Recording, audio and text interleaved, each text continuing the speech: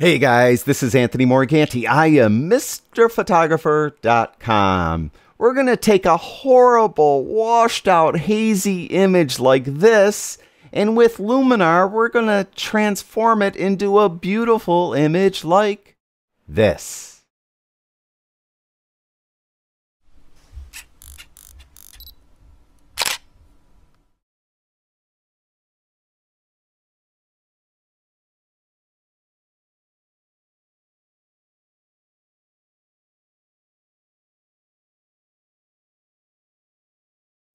We're going to be working on this image. Now, obviously, this is a horrible image. I shot it at high noon.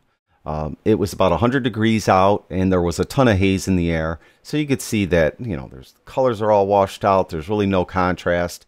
But I chose this image because the filters are so powerful in Luminar. You'll see we'll be able to make a beautiful image out of this shot. Now, um, personally, I like to crop early in my workflow. I've mentioned that many times. And you can see it's slightly crooked. So I'm going to go to the crop tool right away. I'm going to go up to tools and go to crop. And I really just want to straighten it. So I'm going to keep the original aspect ratio. I'm going to go just outside the image to the right. And you can see the cursor turned into that double arrow. And I'm just going to click with my left mouse button, hold it in, and just drag the image a little straighter. And I think that eyeballing it looks pretty good and I'm going to click done. Now the way I typically like to process an image is I look and see what's the screaming problem. And to me the screaming problem with this image is uh, it's really hazy. So I want to get rid of that right away. So I'm going to go to add filter and I'm going to go to issue fixers dehaze. And I'm going to go right there. I'll close the filters down. And I'm going to go to the amount and I'm just going to push that up. So I, I've pushed that up just to get rid of the haze and there still is a little bit of haze, but we'll deal with that as we go. So I got rid of the haze. That was the main issue that was bothering me. I'm going to go to add filter and I'm going to go now to the raw develop filter. Uh, if you're not working on a raw file, this will just be said or called develop. And you'll notice when I choose this, it's going to go right to the top. It always is the first filter at the very top. Even though I used dehaze ahead of time, it's still putting this one first. So I'm going to start right at the top and I'm going to stay with the Luminar default profile. I'm not going to use any of the others, at least for this image. Um, the white balance is off. Uh, it's just, it was shot with a, a, long exposure using an ND filter. And by the way, uh, list all the gear I used, um, the exposure settings, the camera settings will all be in the description below this video. So you could check that out. And also, I forgot to add real quick, is today Skylum Software announced that they're going to be coming out with Luminar 4 in the fall, and they're having a huge pre-sale where you could save a ton of money. And I'll have all that info in the description below the video as well. So I want to get um, a better white balance on this image. So I'm going to use the eyedropper and just click on that. So now my cursor is an eyedropper with that target on there. And the slate wall is, you know, like gray slate. So that's a nice neutral color. So I'm going to click on that. And you can see it warm the image up a touch. And that's really more accurate uh, what I saw that day when I was there. Now, again, what's kind of screaming out to me? Well, it's still kind of hazy. Uh, contrast will help you get rid of haze. Uh, so I'm going to turn contrast up. You can see it's getting better, isn't it?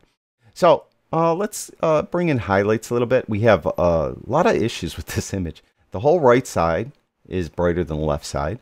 So I want to kind of equalize that a little bit. So I'm going to bring highlights down and I'm going to open shadows up. So it's kind of flattening it out again, but that's all right. I'm going to get some of that contrast back with some of these things I'm going to be doing in a moment. I'm going to get a white and black point first. Now what I'm going to do is hold the Alt or Option key. It's Alt if you have a PC option if you have a Mac and click on the whites slider. Now, as far as I know, this still only works for Mac computers. If you have a Windows computer, this won't work.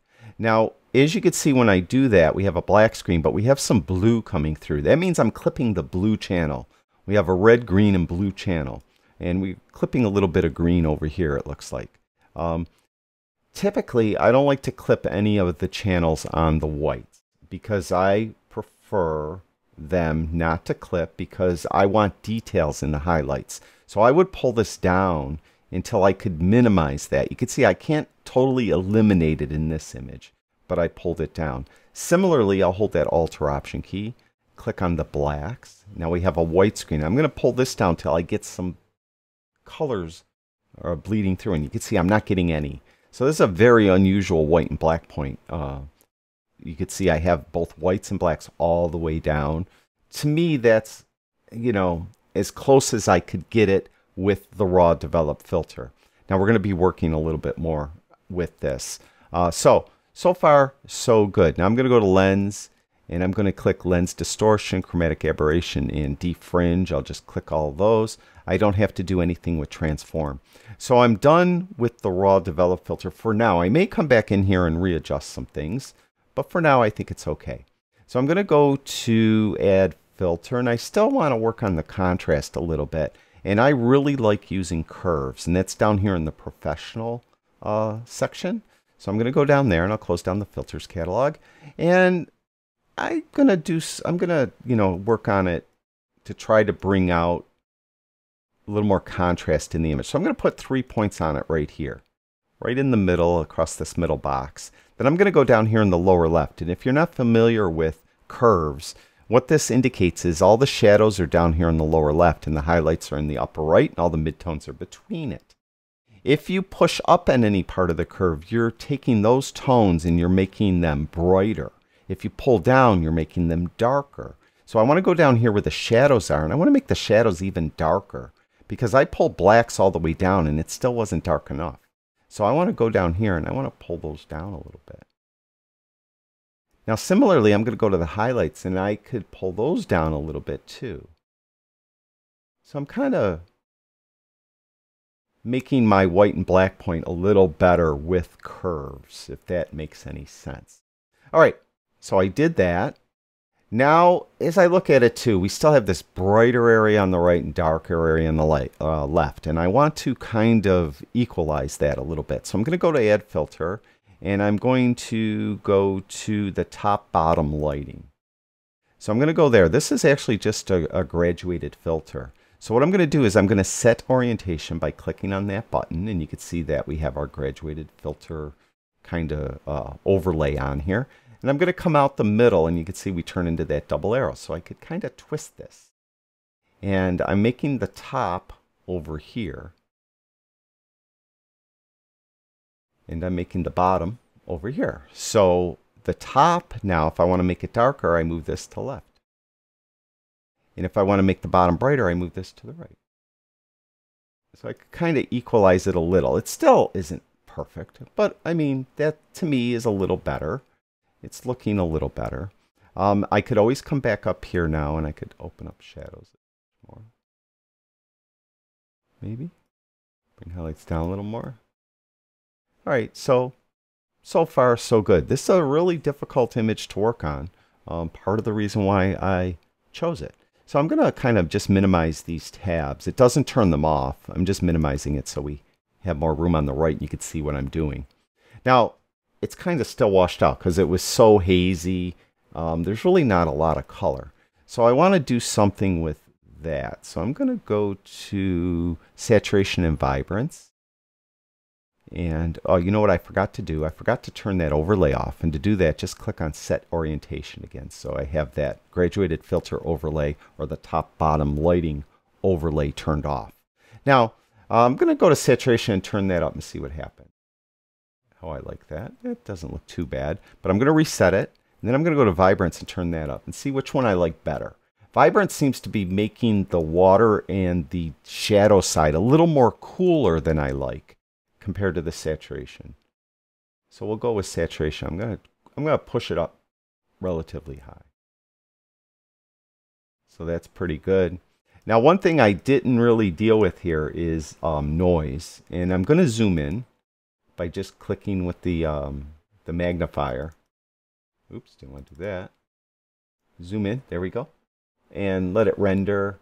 And I'm going to look, I don't think there's a lot of noise. This was shot at a pretty low ISO. And there really isn't any noise, so I really don't have to worry about that. Now, I'm still not quite happy uh, with the color temperature. I think it's just off. So I'm going to go back up to the raw develop. I'm going to get this eyedropper again. I'm going to again click on this gray wall. Yeah, that's a little better. That's more like I remember it. So I think that looks much better. Um, and let's see, we're going to go to add filter and um, where is it? There's foliage enhancer. I want to try that. I'm just going to go close this down. I'm just going to go to the amount. I'll pull that up. Just kind of make that foliage a little more hue more towards yellow. I think that looks good right there. So, so far so good. We'll go to add filter again.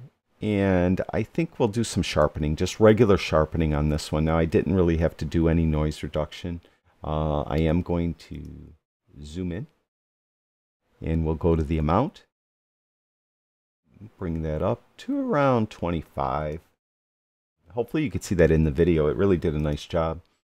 Made it nice and crisp.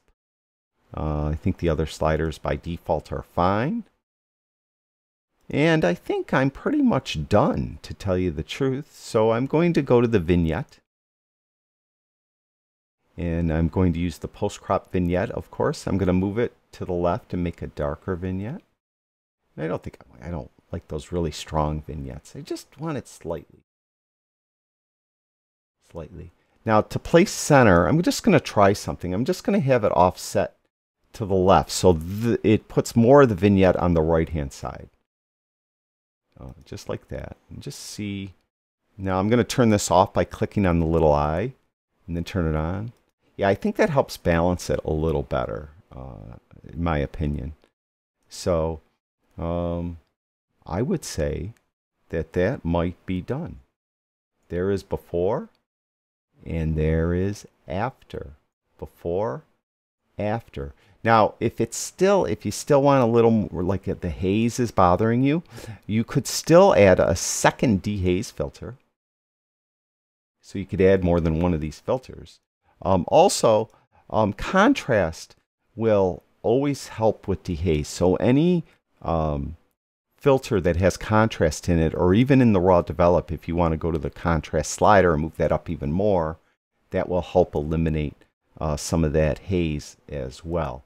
So again, that's why I picked this image because really look at it. I mean, who thought we could make a nice looking image out of that? Um, so um, the power of Luminar. And I think Luminar really shines with uh, landscape photos, cityscape, and nightscape as well. Uh, that is really the strength of this application. Uh, again, I did this in Luminar 3. Um, it also will do the same tools in Luminar Flex and I'm pretty sure any version of Luminar uh, should work. Uh, with the raw develop, it's going to be a little different in the earlier versions of Luminar. Uh, but other than that, I think everything else is the same. So um, hopefully that helps you uh, process those really tough landscape images. And I'd like to thank everyone that watches my videos. I truly do appreciate it. Remember, check the description below the video for all that camera and exposure info and that deal they're having on Luminar 4. Thank you. I'll talk to you guys soon.